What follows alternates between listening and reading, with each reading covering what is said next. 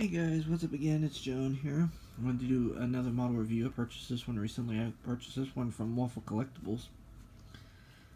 Um, as you can tell, this is a Ilyushin 76 transport aircraft, or air transport aircraft.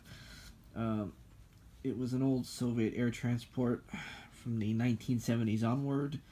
After the collapse of the Soviet Union, it became widely used for other countries and civil civil aviation transport for cargo.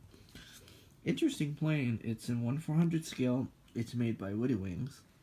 I know Aero Classics also makes this plane. That would be pretty cool. Hope you guys enjoy this review, and let's get started. We have the cockpit windows.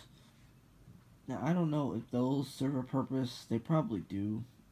I've never really looked into this plane that much. It's my first one ever buying of this type. Syrian, Syrian Airlines cargo. We have the L1 door. We have the double slated landing gear. There's two sets of mains.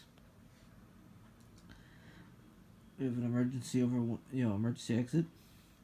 Uh, this plane is powered by four Sokolov D-30 turbofan engines. Now I know for a fact that they've done, they put the progressive, was it the PS Progressive 30 engines on there? I believe that's what they are. Is an engine replacement, and newer models of this plane have been stretched with those engines to hold more cargo. Pretty cool. It's a overhead wing, so we got the wing on top of the fuselage instead of the bottom like other planes would be. We have the main gear right there, two sets of it.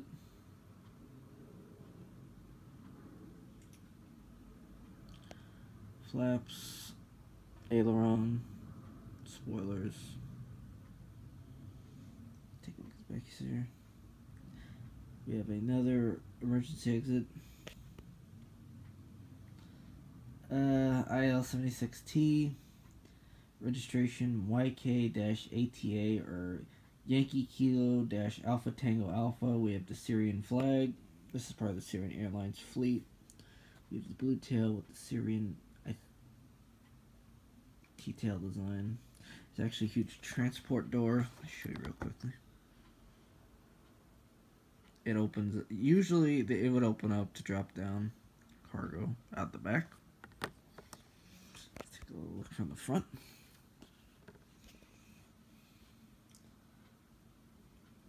Four engines, the overhead wing. Top view. Other side. It's not like a.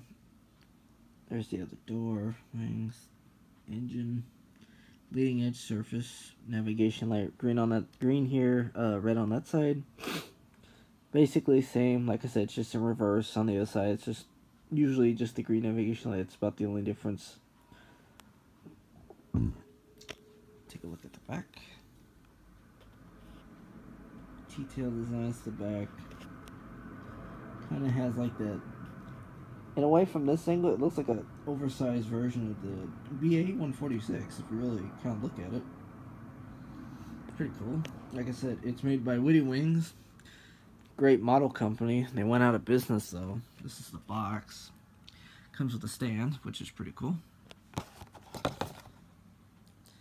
Length, uh, 46.59 meters. Uh, I looked up the dimensions of this plane. It's 152 feet long, the wingspan is 165 feet long. Uh, basically, this plane is the same length as an MD-90 and just under the length of a 757-200. The wingspan of it is about slightly larger than a 767-300ER with the winglets. I had to look it up. I was curious about this. I've never had one of these, so I didn't know the exact scale to it.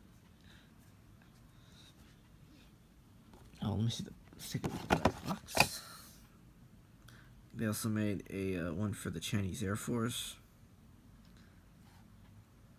Collected models.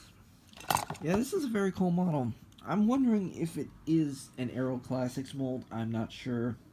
If anyone could answer that, that would I would really be grateful. I doubt it for some reason, but then yet again, you don't know. Some companies do share molds.